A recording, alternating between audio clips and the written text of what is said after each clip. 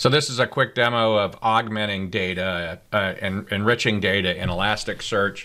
And we're going to do that from data inside of Elasticsearch. You could do this with an external load, right? In my case, what I want to do is just load everything to Elasticsearch and then use its enriching capability as new data is loaded, um, that it will create a relationship. You know, so typically these indexes are just, you know, a bunch of fields. In my case, it's going to be crash data for commercial vehicles, inspection data for commercial vehicles, and a list of all the commercial carriers. And in theory, the inspections and the crashes are all going to be would be joinable in a relational database to carriers. In my case, what I'm going to do is pull over the IDs of any crashes or any inspections and put them into many collections on the carrier. So a carrier would be like the company, the name, all that kind of stuff, and we will end up uh, we're going to augment it anyway because we're going to do like phonetic, we're going to clear white space, we're going to do a bunch of other things to try and make that data more matchable, tokenize it.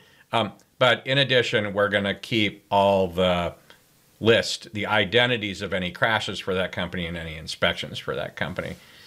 So well, what does that mean? It means we're going to initially load the crash data into an index. In our case, we use a day index and we create an alias to it. And that way, when we create data views in, in uh, Kibana or we have queries, we actually query against the alias. The alias goes against the index. Um, we're going to create um, enrichment.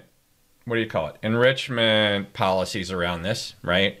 And those policies will automatically create enrichment indexes, and they'll populate that with enrichment index data.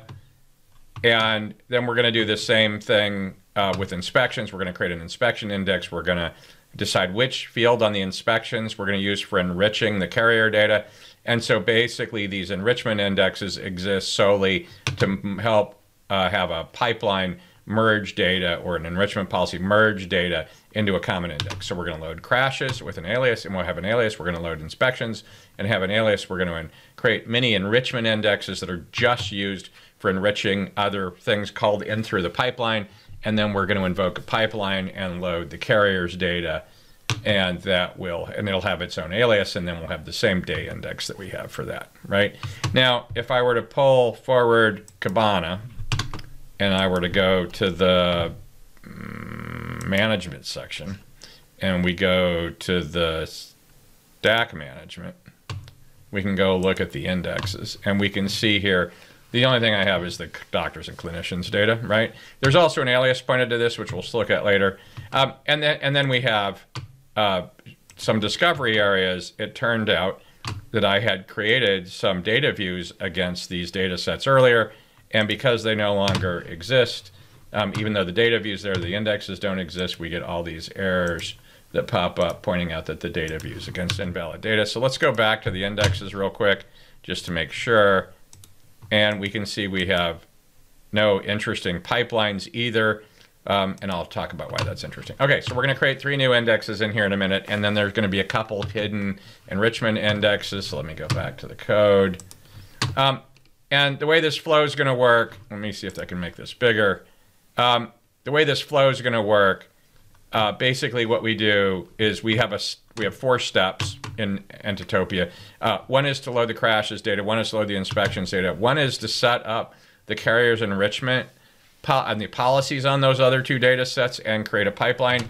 And then the fourth step would be to actually load the carrier's data and use the pipeline so that it can pull in the enriched data and that will populate the carrier's index and that carrier's index has an alias. Right. So that's pretty straightforward. Uh, let's just look at the code config or the config for this a little bit, and then I'll run it. Um, you can see here that in the DOT commercial, so this will be a target, a commercial DOT commercial target under like the Medicare provider target.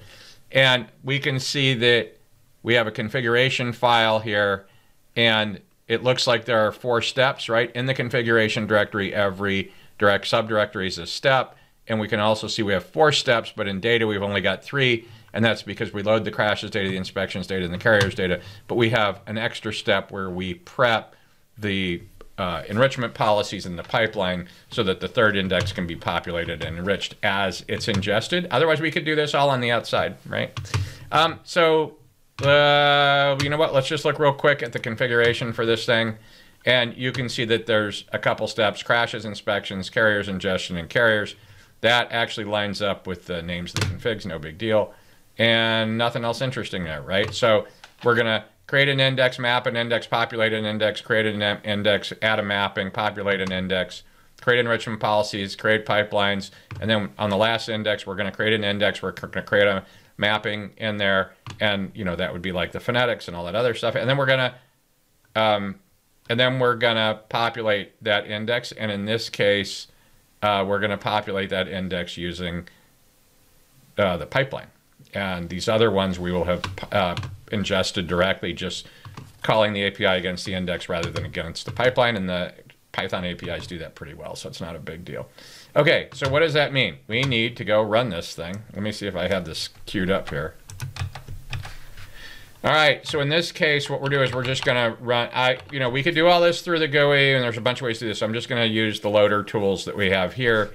And in this case, the project is gonna be called DOT Commercial. And in this case, I'm just gonna do, um, what's the first step? Actually, I'm just gonna run one step, crashes. Step equals crashes.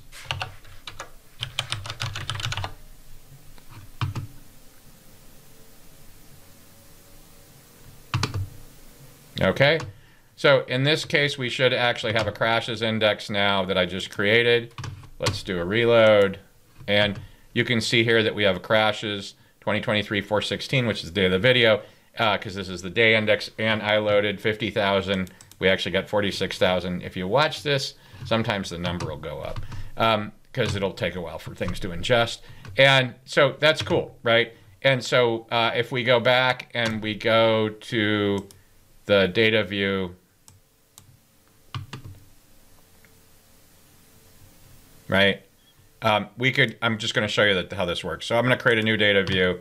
And you can see here we have the crashes index and we have the crashes alias. And that way, if you create the data view against the alias, even if we keep replacing the index, you'll have kind of a zero downtime thing there. We'll just move the alias, right? So in this case, um,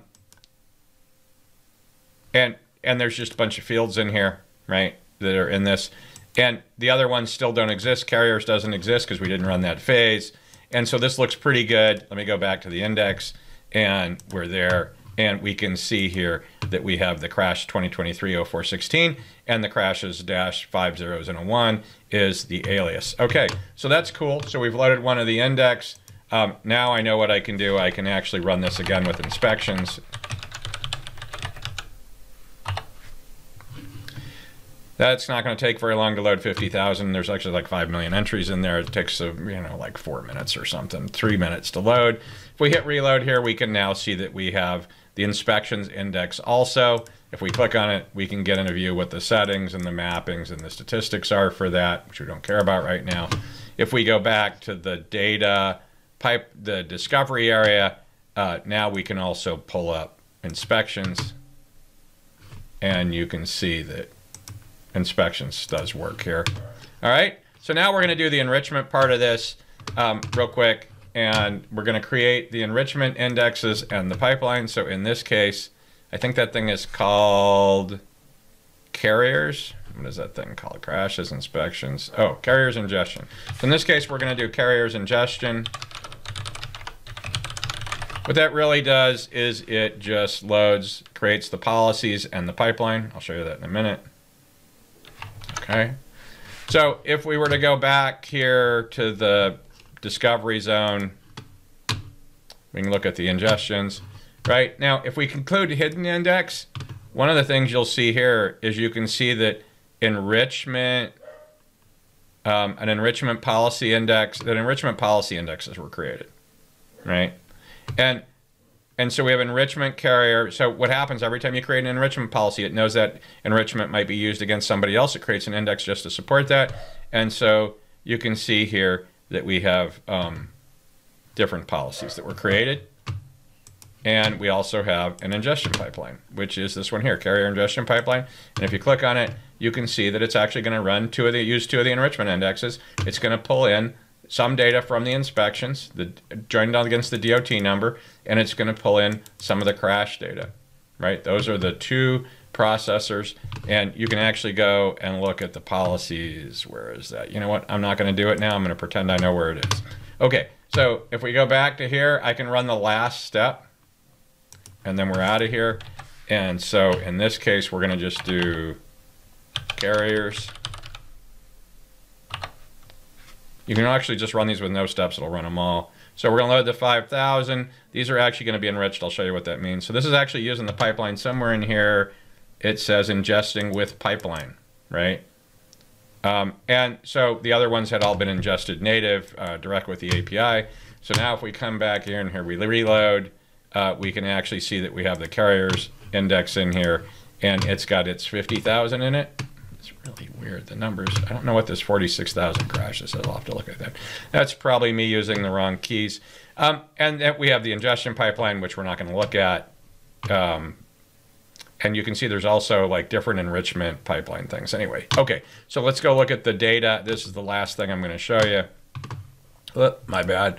We're going to go to the Discover. We're going to drop down. I had already created. So like if you wanted to create a new, I think I showed this once before. If you create a new data view, you can create the data view against the alias or the index. So in my case, we would do like carriers, right? So I could actually set the index criteria and we can go against the index or the alias. If you go against the index, though, and the index gets blown away, you know, you're going to lose it. Um, so here, the only thing I really wanted to show here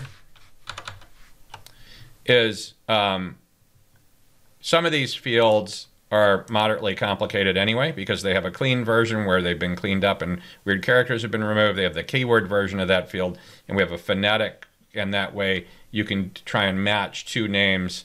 DBA does business as names uh, that match um, each other phonetically because they might have been misspelled um, in one of the records. Um, the only other thing here is you can see the inspections, DOT inspection. This is the enriched data from inspections, and this is the enriched data from crashes. I put them in a complex, but you could do it any way you want. But the point is, now we took data from other index and we enriched this index, making it easier to search. And that's what this is all about. And this sample data, this data all comes from the government uh, that I pulled in. And in here we have a script that'll download the carrier data into the data directory, and then you can run this. And I hope that's interesting, and I hope you can, it, you know, gives you an idea how to do enrichment policies and pipelines and bring data in from other index into a primary index that you want to search against. Have a great day.